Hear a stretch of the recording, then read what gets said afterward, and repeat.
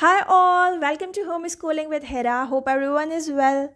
In today's video, I'm going to share with you the IPA symbols for consonants. If you want to learn about the IPA symbols for vowels, so the link to the video is in the description box. Here, I'm going to tell you only about the symbols of consonants. IPA means International Phonetic Symbols. We need IPA symbols to read the correct pronunciation of words. You must have seen this type of transcript written in dictionaries. Whenever you search for a word, for example, if you are searching the word bad, so beside bad, you find something written like this. So this is the IPA transcript, okay? International Phonetic Transcript. So if you are a learner of any foreign language, you should know the IPA symbols for that language. In English, we also have these symbols and today's video is all about the IPA symbols for consonants. So here are 21 consonants. Why I'm saying 21 but written 20 here? Because C and K are two consonants having the same sound. So if you count them two, then they will be 21 and the five vowels. So the total number of letters is 26, right?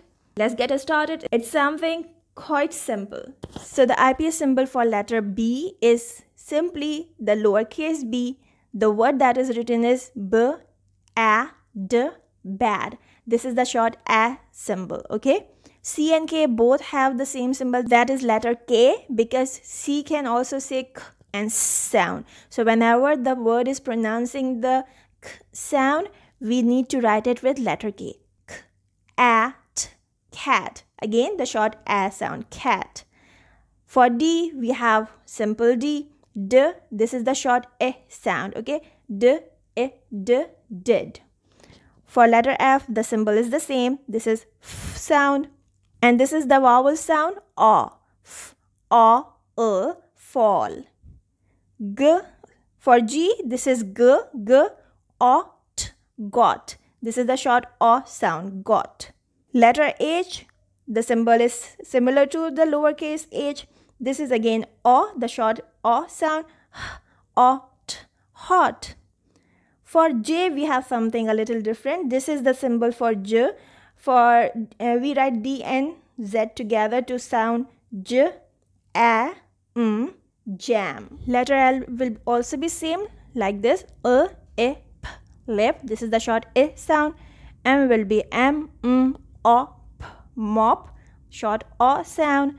N, it will be same like N, lowercase N, at, net this is the phonetic symbol for short eh sound, okay? The sh uh, short sound of vowel E.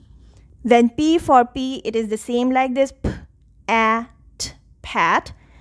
Qua, because they are two uh, letters together, so we have the phonetic symbol like this, K and W together. It's qua, a, k, quack, the sound of the duck, quack.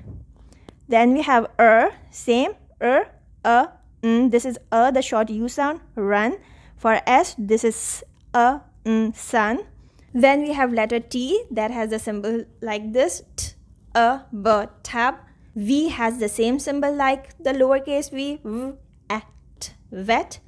W has same symbol like uh, lowercase w. It's w o a wall. This is a sound for X, it is the mixture of two sound that is K and S. So we write it like this K and S together.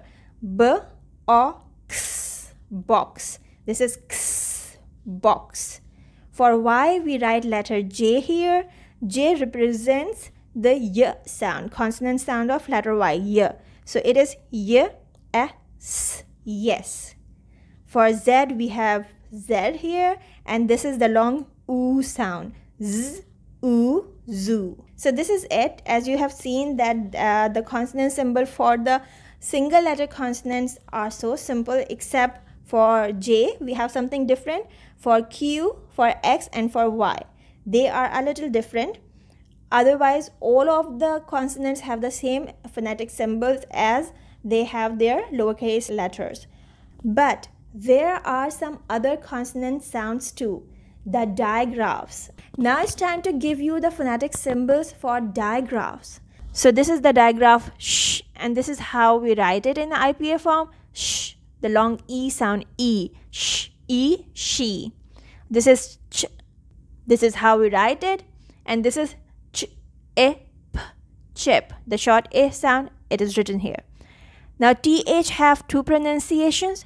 One is the voiced one, that is the, as in the, is, this. And the other is the unvoiced, it's th, as in th, e, nk, think. In India and Pakistan, we also say it as the and it, this one as th.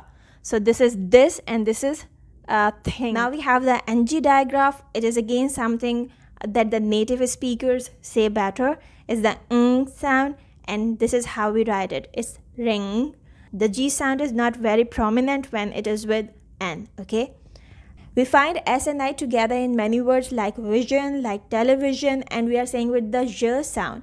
So this is how the j sound is written in dictionaries. If you know this symbol, you can understand that SI together is saying the j sound. The word is v, e, v, and j, and this is schwa and n, jen. Vision, written right here. Okay.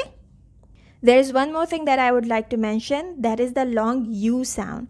Letter U has two long sounds. The first is U and the other is U. So the U sound is not the vowel sound. That's why I did not tell uh, this sound in the previous video of vowels. So today I'm giving you the U sound and how do we write it.